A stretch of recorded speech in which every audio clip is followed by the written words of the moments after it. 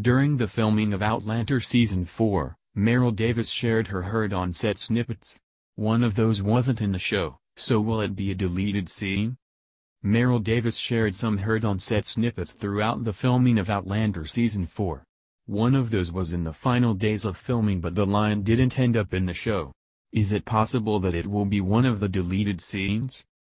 Move your guns or I'll shove them up your was the line that Davis wrote and fans immediately took to Twitter to try and guess who would say it. This was a line not in the books, which made many fans wonder whether it would be Murtagh's line. While we knew Murtagh would return, we didn't know how and there was the wonder whether Murtagh would show up at the end as a potential threat and introduce himself with this line. Now that we've had a chance to see how the season played out, it's time to figure out what this line was actually meant to be for. There is the chance that it was Jamie's line and he was talking to the redcoats who had come to deliver the letter with the order to form the militia. Another option would be Claire, who may have felt threatened or may have been stopped from getting past the redcoats to see the letter. Hopefully, this is one of those scenes that ends up being a deleted scene on the Season 4 DVD and Blu-ray.